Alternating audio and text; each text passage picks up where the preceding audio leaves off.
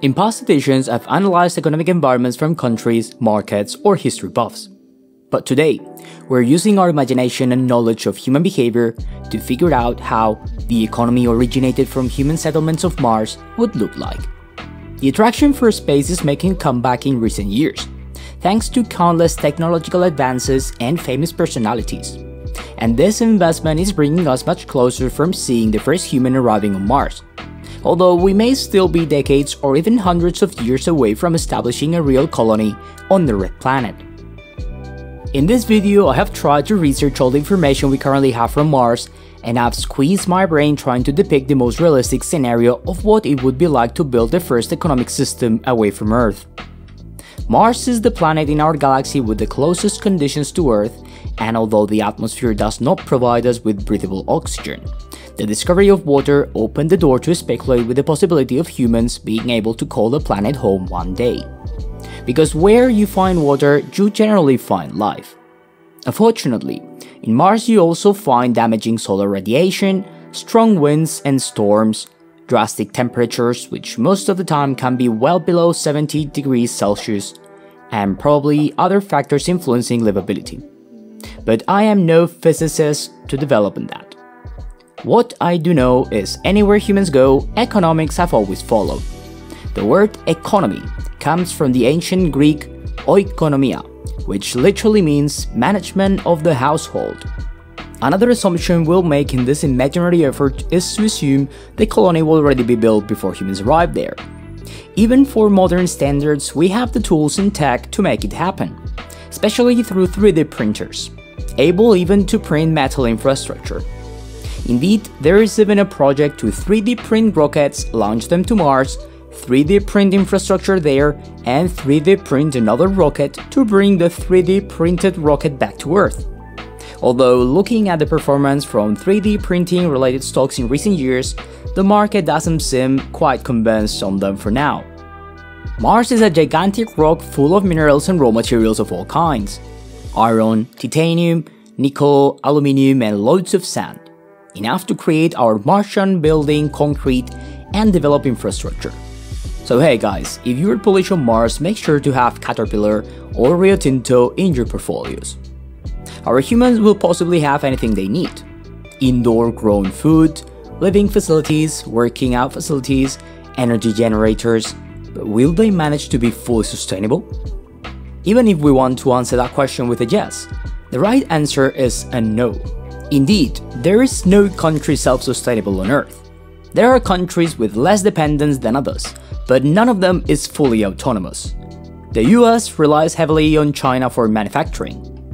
China relies heavily on the US for technology and consumption, and on other countries for commodities, especially oil, just as Europe.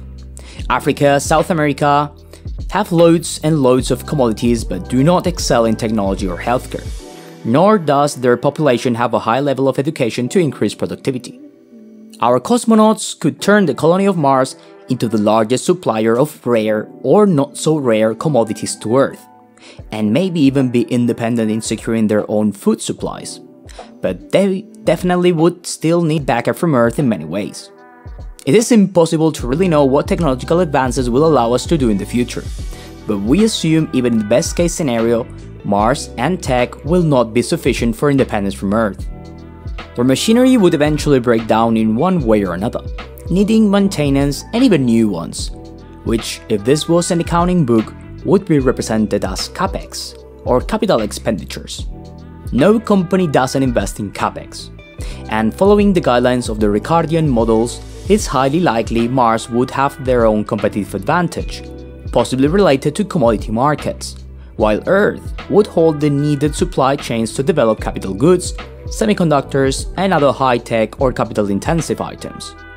Healthcare is also an important matter as even assuming futuristic machines would be able to perform many of the tasks done today by doctors, the production of medicines, fluids, gases, drugs, and maintenance of these machines would require a supply chain hard to be established at a planet without many of these elements to be found on its landscapes although through well-run high-tech labs, the dependency from Earth could be reduced. The inhabitants of Mars would possibly base their economy in indoor-grown agriculture, production of oxygen to sustain their lives, trade of raw materials with Earth in exchange for healthcare, capital goods, and technology, and possibly they would even be able to develop a touristic industry. We can already find a couple of companies like Virgin Galactic and Elon Musk's SpaceX trying to make tourism in space more frequent and affordable. So it wouldn't be rare to envisage the Marriott's, Hilton's, or Four Seasons moving in with their brands to cash in the growth from this market. But there is an even more important question which needs an answer and it's key to sustain a healthy economic development. Private property. Who will own the land? And how much of it? Will you be taxed by your foreign metropolis? I think once again history will easily answer this question for us. It will all come down to the theory of incentives. The potential of Mars is there, but it's yet to be known which will be the edge between risk and reward, pushing more or less people to adventure themselves.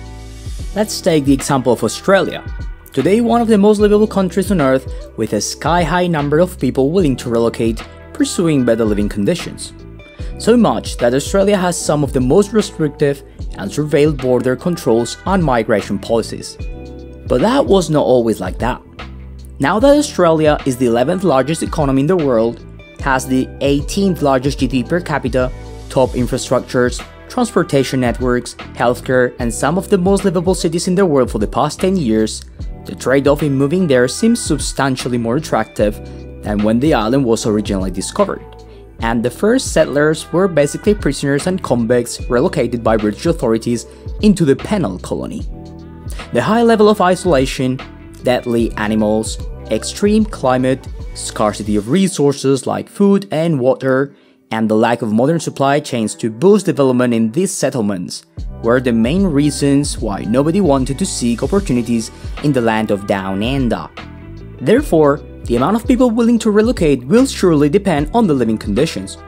If humans manage to change the nature of the atmosphere and make the planet as livable as Earth, and the journey isn't too dangerous or expensive, hordes of migrants are likely to bear the relocation risk, searching to increase their standards of living in the easiest possible way, which is moving to Mars and claim their piece of land instead of trying to be more creative and efficient where you stand today. If on the other hand, Mars proves to be as extreme as it is today, it's highly unlikely the numbers of migrants will be substantial. Therefore, can real estate and land ownership become a big market on Mars? It definitely could. It's impossible to know at what stage interplanetary life will become a reality, but it wouldn't be surprising if different nations like the US, France, the UK, China or India would simultaneously develop the technology and means for space travel, and would arrive at Mars in a similar time frame.